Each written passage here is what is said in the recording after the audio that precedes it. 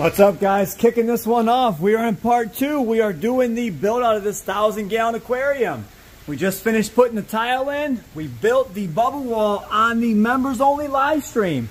This is directly after. Now I'm gonna get working on installing the bubble wall.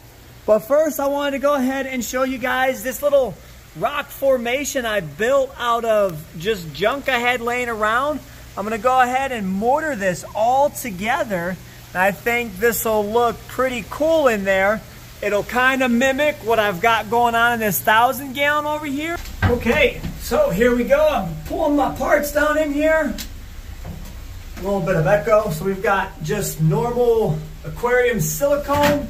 We've got soft tubing. We've got my bubble wall that's pre-made from the, the, the live stream.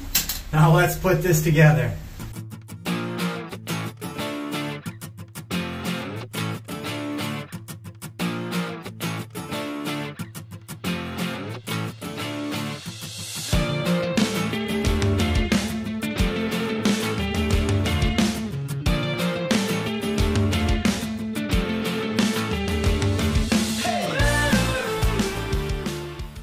Okay, the main skeleton of the bubble wall is complete. You can see it's a little bit flimsy, but that's where the silicone comes in.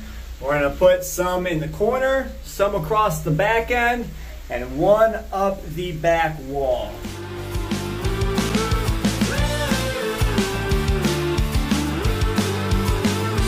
Okay, so I'm putting down the silicone. As you can see, I'm putting down a generous amount, and I'm putting the bubble wall down in the silicone, and coming back with another generous amount of silicone to try and lock that in.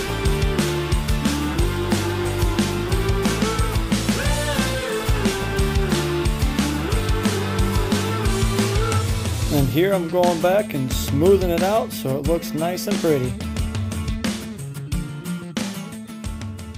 Okay, the bubble wall is now installed, and as you can see, there's a spot on every tile. So the back tiles are secured down against the back wall. They won't flip up. Now going to do a little spot on each of these end tiles, and I'll be good to go. Won't have no worry about this. We're to let this dry till tomorrow. Then I'll finish hooking up the uprights, hook it up to air, and then we can start decorating and thinking about water and stock and filtration. All right, I promise you guys this tank will be uh, full, bubble wall in, and partially decorated. So let's get started on the decorating.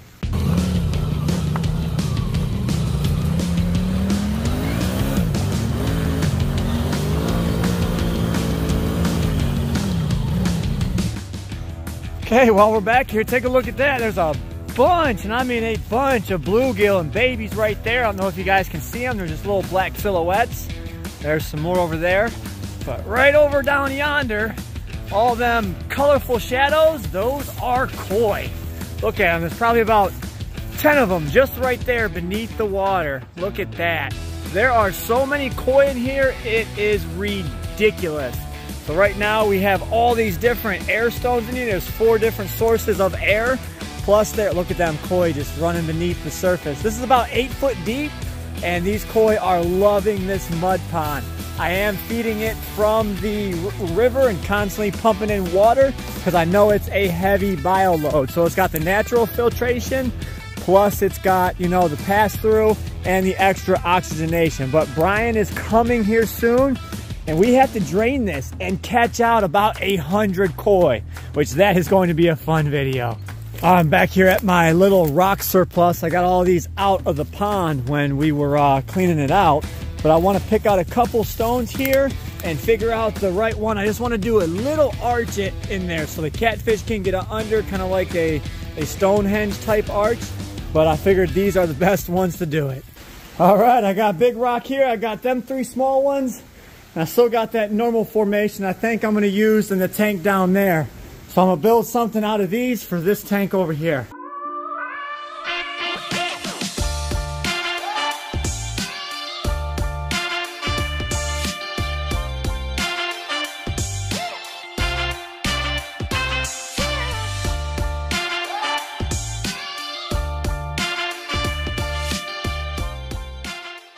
Check it out, guys. So you guys remember this planet tank here?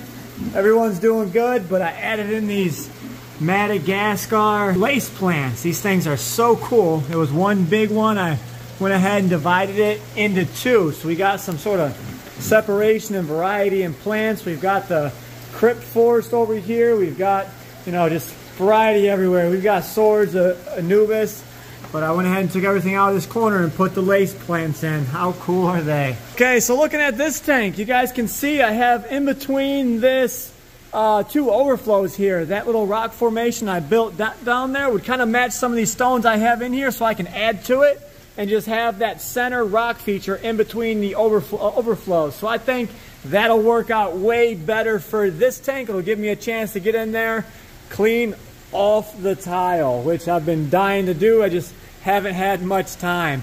And now with this tank over here, I went ahead and cut my air line so I can hook up the bubble wall and we've got the decorations in. So I'm gonna play with the positioning. I might add some more columns like going up in the back corner and bridging it over to here.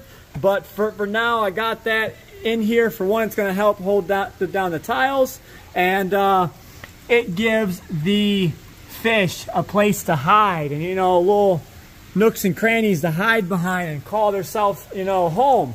I might put a big, tall, fancy plant giant in that corner right there, about three, four foot tall and then call this tank done. Just leave it a nice open footprint for my big monsters to grow out, have my feeding area like right here. I think that'll be really, really cool. Just like that, the bubble wall's hooked up. I did all my final checks. Now we've got the leak test. I'm sure this tank will not leak, but we're gonna fill it up, test it overnight, and make sure she holds before we add fish. A moment of truth. This is the most exciting part. Let her rip. Oh, what is that? That's water going in the tank. We have water, guys. Check it out. Now uh, I'll be able to check the level on the tank. It should be pretty good. And uh, slowly but surely, this beast will get filled up. How exciting is that? You guys have been seeing this tank sit empty for a little over a year now. But you know, good things take time.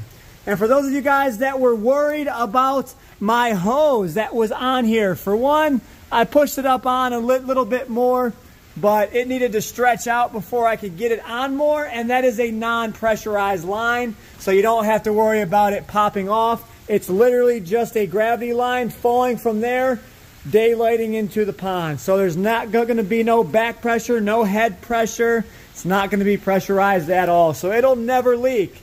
Don't worry, all my pressurized lines are always PVC. All right, I don't think you guys get just how big this tank is. It's eight foot long, four foot from front to back, and four foot tall on a 30 inch stand. I'm six foot one. This tank is taller than me. This is a very massive, large aquarium, and it is solid acrylic all the way around.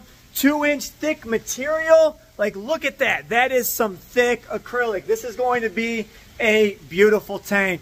I, I know some of you guys would be like, that is a masterpiece. It should be set in the middle of the room. Well, that's okay, but this tank fits our purpose here at the Ohio Fish Rescue, so we want to go ahead and make sure we give the best life to our fish. If it means sticking the, the tank in the corner, that's okay.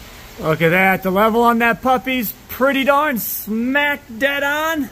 And look at that bubble wall. See all them bubbles a purring back there?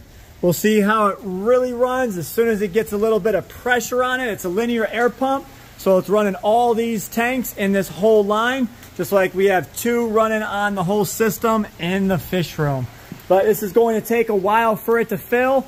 The reason I'm filling it with such a small hose is because this is an acrylic tank. You don't want to fill it extremely fast because it could, you know, stretch and pop your seam. So you want, want to fill acrylic tanks gradually. Plus this is a leak test. It's being filled for the first time here. Everything's go, going to, you know, kind of relax in, in place. So th this is, you know, a marathon, not a race. So I promised you guys that we would have water in the tank.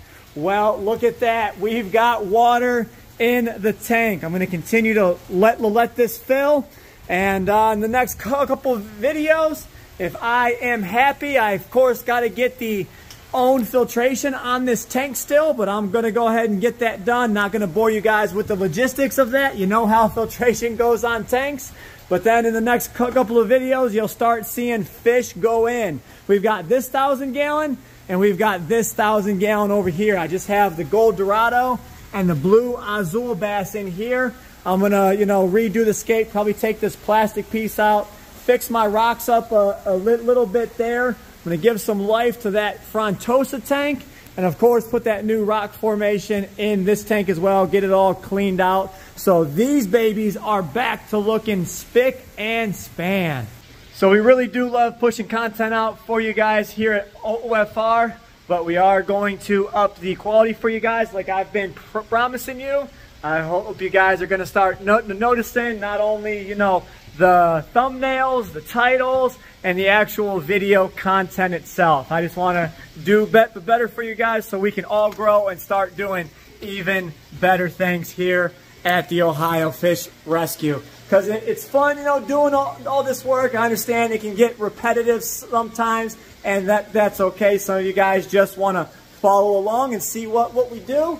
Well, I want to take it up to that next step. So everyone who participates in, in the polls, I really do love the constructive criticism, and I do read the comments, and I, you know, I try and improve where we can. So hope you guys enjoyed today's video. We will catch you on the next one. As always, stay fishy, my friends.